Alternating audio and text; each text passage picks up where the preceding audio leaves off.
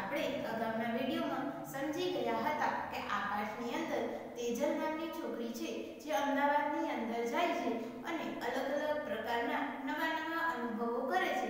જેની વિશેની આપણે ચર્ચા કરેલી હતી.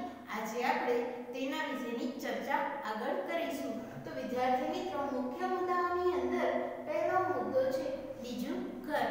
તો મિત્રો, આગળ આપણે સમજી ગયા હતા કે તેની જે મામી હોય છે તે જલની મામી એ અલગ અલગ ઊંચા ઊંચા મકાનની અંદર કામ કરવા જાય છે, સાત ઘરની અંદર તે કામ કરવા જાય છે અને તેમાં તેજલ પણ એક દિવસ તે ઊંચા મકાનમાં જાય છે અને ત્યાં બધું જુએ છે.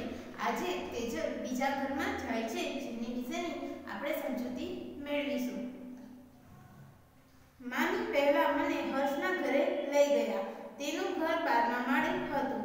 કેટલું મોટું ઘર કેટલા બધા એક બેઠક ખંડ એક ભોજન ખંડ, એક શયન ખંડ અને એક રસોડું હતું. તેમનું શૌચાલય પણ ઘરમાં જ હતું. વિદ્યાર્થી મિત્રો તેજલ અહીં કહે છે કે પહેલે તો મારા મામી મને હર્ષના ઘરે લઈ ગયા. હર્ષ નામનો છોકરો હતો જેનું ઘર તે હતું. ત્યાં મને મારા મામી લઈ ગયા. તેનું હર્ષ નામના છોકરાનું ઘર ક્યાં હતું? વિદ્યાર્થી મિત્રો, તો કે છે બારમા માળે તેનું ઘર હતું. તે બહુ જ મોટું ઘર હતું અને અલગ અલગ ઘણા બધા રૂમ હતા, જેમ કે ભોજન ખંડ, શયન ખંડ. તે ઉપરાંત એક રસોડું પણ હતું, બેઠક ખંડ હતો અને ત્યાં ઘરની અંદર જ શૌચાલય પણ હતું. હર્ષના ઘરને સાફ કરતા મામીને ખૂબ જ સમય લાગ્યો, પરંતુ તે સરળતાથી કામ કરી શકે છે. રસોડામાં નળ છે અને તેમાં પાણી આવે છે, વિદ્યાર્થી મિત્રો તેજલ કહે છે કે હર્ષનું ઘર છે ખૂબ જ મોટું હોય છે, જેને કારણે મામીને ત્યાં કામ કરવામાં ઘણો બધો સમય લાગે છે, પરંતુ સમય લાગવા છતાં પણ કામ સરળતાથી થાય છે, કેમ કે ત્યાં ઘણી બધી સગવડો છે, જેમ કે રસોડાની અંદર જ નળ છે અને નળની અંદર પાણી આવે છે. હર્ષે નાહવા માટે નળ નીચે પાણી ભરવા માટે ડોલ મૂકી, પછી તે ટીવી જોવા માટે બેઠો, કેટલો બધો પાણીનો બગાડ થયો અને મને તે ન ગમ્યું. હું ગઈ અને મેં નળ બંધ કરી દીધો. વિદ્યાર્થી મિત્રો તેજલ છે, એ હર્ષના ઘરે જાય છે અને હર્ષનું ઘર ખૂબ જ મોટું હોય છે તે બધી વસ્તુ તે નિરીક્ષણ કરી રહી હોય છે ત્યારે તે જુએ છે કે હર્ષ છે એ નાહવા માટે બાથરૂમની અંદર પાણીની ડોલ મૂકે છે અને નળ ચાલુ કરી દે છે કે જેથી પાણીની ડોલ ભરાઈ જાય અને ત્યાર સુધીમાં તે ટીવી જોવા બેસી જાય છે તે ટીવી જોવા બેસી જાય છે એટલે તે ભૂલી જાય છે કે તેની પાણીની ડોલ ભરવા મૂકેલી છે અને પાણીનો ઘણો બધો બગાડ થાય છે. તેજલ કહે છે કે આ વસ્તુ મને ન ગમી અને મેં જઈ અને નળ બંધ કરી દીધો. હર્ષના ઘરમાં મોટી કાચની બારીઓ છે. મામીએ મને બારીમાંથી બહાર જોવા કહ્યું, હું મામાની ગલી અને ઘર જોઈ શકતી હતી, પરંતુ કયું ઘર તેમનું છે તે કહી શકતી ન હતી. વિદ્યાર્થી મિત્રો, અહીં તેજલ કહે છે કે મારા મામી મને કહે છે કે તું આ કાચની બારીમાંથી અહીં બધું જો. ત્યારે તે કહે છે કે હું કાચની બારીમાંથી બધું જોઈ રહી હતી અને મારા મામાનું ગલી અને મારા મામાનું ઘર પણ જોતી હતી. ત્યાં ઘણા બધા ઘરો હતા, એટલે એ કહેવું મુશ્કેલ હતું કે આમાંથી કયું ઘર મારા મામાનું છે? ત્યાં ઉપરથી દરેક વસ્તુઓ રમકડા જેવી નાનકડી લાગતી હતી. મને ઊંચાઈએ જોવામાં ડર લાગતો હતો. વિદ્યાર્થી મિત્રો તેજલ કહે છે કે ત્યાં જે ઊંચાઈથી બારમા માળ બારમા માળે હર્ષનું ઘર હતું, ત્યાંથી બધી વસ્તુ નાનકડી એવી સાવ રમકડા જેવી લાગતી હતી અને ઊંચાઈથી મને નીચે જોવામાં થોડોક ડર પણ લાગતો હતો.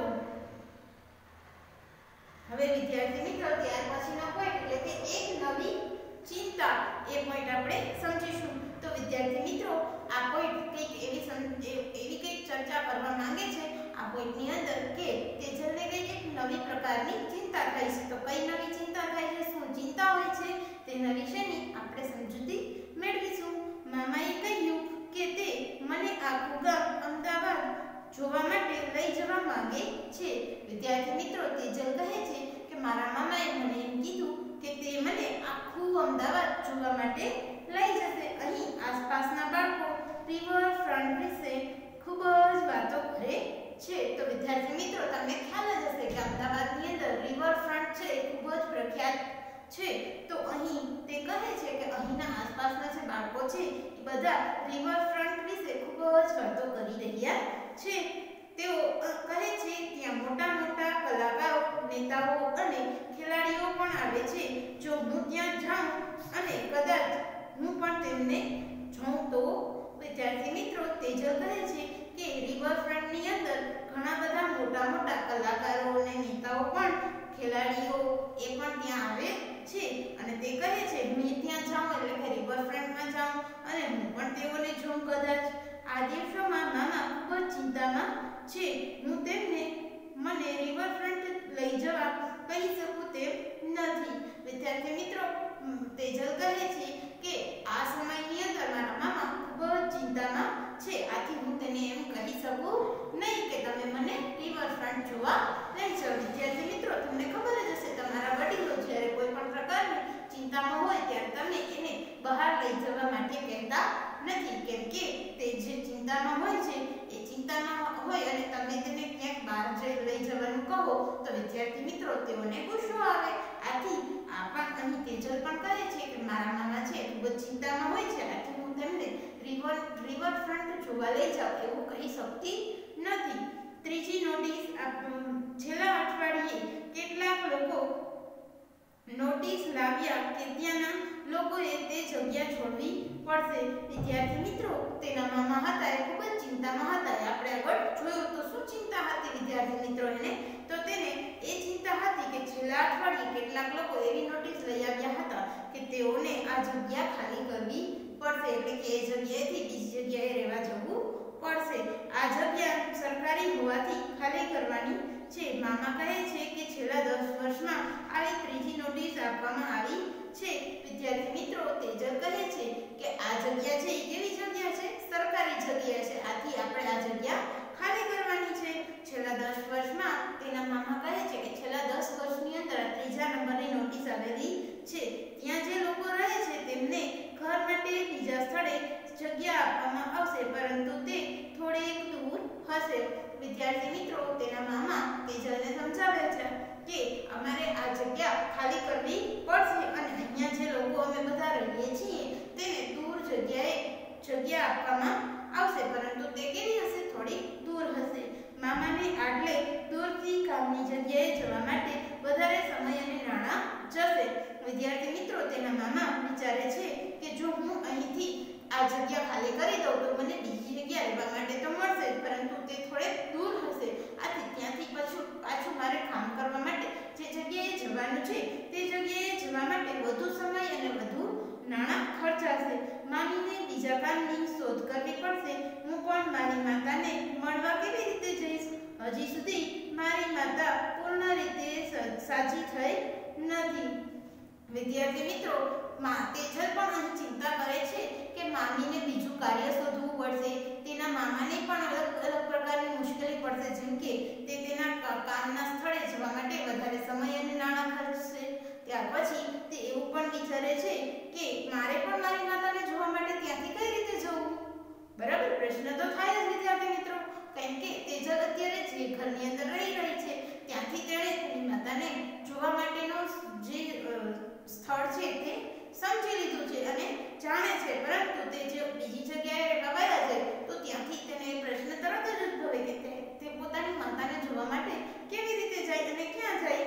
હજી મારી માતા સંપૂર્ણપણે સાજી થઈ નથી. એટલે કે તેની માતાને જે બીમારી છે તેનો ઈલાજ હજી પૂરેપૂરો થયો નથી વિદ્યાર્થી મિત્રો આ રીતે તેજલને તેની મા તેના મામાને અને તેના મામીને અલગ અલગ પ્રકારની ચિંતાઓ હોય છે અને આ પાઠની અંદર આપણે સમજી ગયા કે ગામડું જે તેજલ છે એ ગામડાની અંદર રહેતી હતી, તો ત્યાં કઈ રીતે ઘર હતું, કઈ રીતે બધી સુવિધાઓ હતી? જ્યારે તે અમદાવાદની અંદર, અમદાવાદ નામનું જે મોટું શહેર છે, તેની અંદર આવી, ત્યારે તેને અલગ અલગ પ્રકારની, કઈ પ્રકારની મુશ્કેલી પડી. ત્યાર પછી આપણે એ પણ સમજ્યા કે અલગ અલગ પ્રકારના તેને અનુભવ થયા અને છેવટે તેઓને એ જગ્યા ખાલી પણ કરવાની હતી, જેને કારણે તેની નવી મોટી ચિંતા પણ હતી.